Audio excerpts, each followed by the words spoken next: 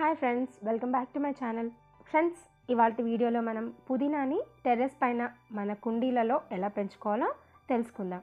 అయితే ఫ్రెండ్స్ చాలామంది వీడియోస్ చూస్తున్నారు సబ్స్క్రైబ్ చేయట్లేదు. ప్లీజ్ సబ్స్క్రైబ్ చేయండి సపోర్ట్ చేయండి. అయితే నెక్స్ట్ వచ్చేసి మనం ఈ పుదీనాని ఫస్ట్ టైం నాటుకునే వాళ్ళు అదే మొదటిసారిగా నాటుకునే వాళ్ళు మార్కెట్లో లేతగా ఉన్నది మనం మంచి పుదీనా కట్టను తీసుకొచ్చి దాన్ని హాఫ్ ఇంచ్ వరకు మనం కుండీలో నాటుకోవాలన్నమాట. నాటుకున్న తర్వాత ఫోర్ డేస్కి మనకి మంచి రిజల్ట్ కనిపిస్తుంది. సో తర్వాత దాన్ని మనం కొంచెం ఆవు పేడ అంటే కౌడం కానీ లేకపోతే వర్మి కంపోస్ట్ ఇవ్వగానే మనకి గ్రోత్ చాలా స్పీడప్ అయిపోతుంది. అంటే చాలా ఫాస్ట్గా పెరుగుతుంది అనమాట తర్వాత మనం పుదీనా పెరిగినప్పుడు అలాగే వదిలేయకూడదండి.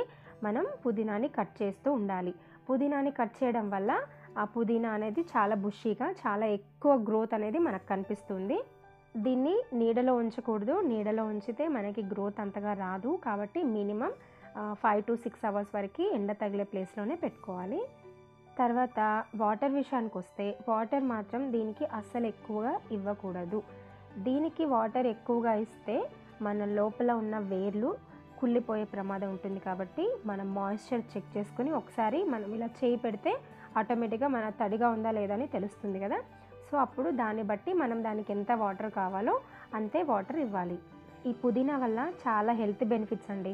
అవేంటంటే మనకి కోల్డ్ అయినా కానీ దగ్గొచ్చినా ఇలాంటివి మనం టీలో కానీ డికాషన్లో కానీ తీసుకుంటే మనకి కొంతవరకు రిలీఫ్ అవుతాం.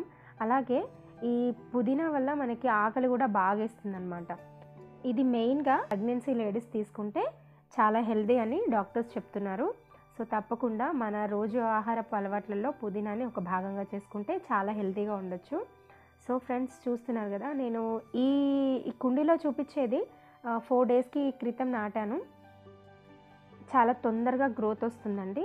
సో మనం దీన్ని ఒకవేళ సైడ్కి కనుక ఏదైనా మిస్టేక్ అయ్యి మొక్క రాకపోతే దీన్ని మనం పిన్ చేసి కొంచెం ప్లేస్లో మనం నాటుకుంటే మళ్ళీ ఇది అతుకుతుంది అనమాట తొందరగా ఈజీగా అతుకుతుంది అనమాట సో ఫ్రెండ్స్ చూసారు కదా పుదీనాని మన ఇంట్లో ఎంత ఈజీగా గ్రో చేసుకోవచ్చో ప్రతి ఇంట్లో ఈ పుదీనాని పెంచుకునే విధంగా ప్లాన్ చేసుకోండి.